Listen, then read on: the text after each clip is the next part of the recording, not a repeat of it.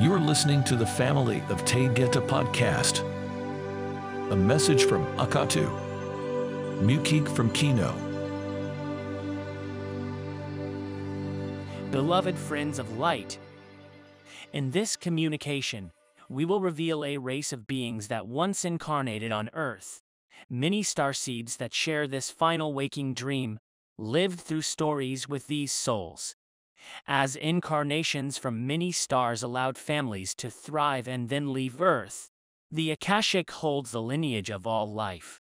In Sheen, you will remember waking dreams shared with these friends now forgotten. The name of this race is Muqik. Their home is Quino. In a dimension outside of the Milky Way, this massive star is surrounded by color and light. These souls live in oneness in this moment. They no longer incarnate to other planets.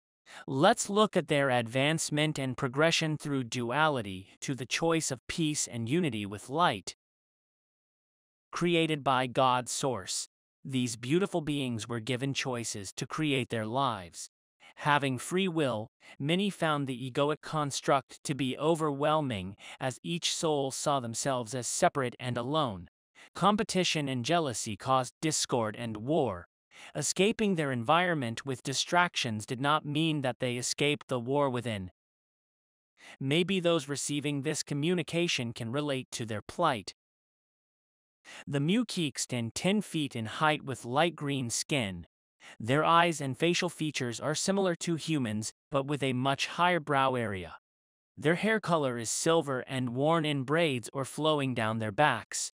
They enjoy close-fitting white pants with matching tops. Belts with blue color to signify the hue that is revered as sacred is worn by all souls. From their creative moment, they saw blue skies and felt that their creator lived above in this domain, the Muqik lived for approximately 100 years. They incarnated back into their race as well as incarnating on Earth. With the death of their body form, the truth of the soul being sacred was known in the non physical density, but just as you experience, the soul is forgotten in waking dreams until awakening transpires. For the Muqik, this experience was repeated for thousands of years, on their planet Quino, duality played on with wars and competition with issues that never mattered. The Muqik raged against one another, and endless suffering was destroying the possibility of peace that was always present within each soul. Children and animals were born and died in this density that became darker and more chaotic. Horses, tigers, bears and small animals suffered the consequences of those in control that knew no peace. The Galactic Federation was aware of the plight of the Muqik. Visits and monitoring increased as friendships grew. The Muqik learned of light and the abilities that it offered. They learned of love that embraced others from the heart. Meetings were called and word spread as the light forces mingled among the Muqik the decision was made to upgrade bodies to light with circulation and crystal hearts. There would be no more disease or death. The Muqik would live as infinite beings. At last, love covered Quino. Peace prevailed and there was joy within all souls. Mountains streaked in pink and gold are places where crystal homes of spirit are now created.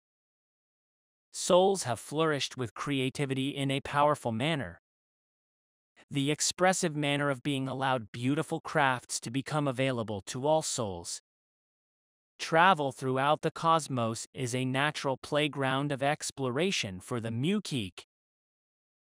The Muqik know their lineage of waking dreams with souls on Earth. They know many of you as friends on your stars.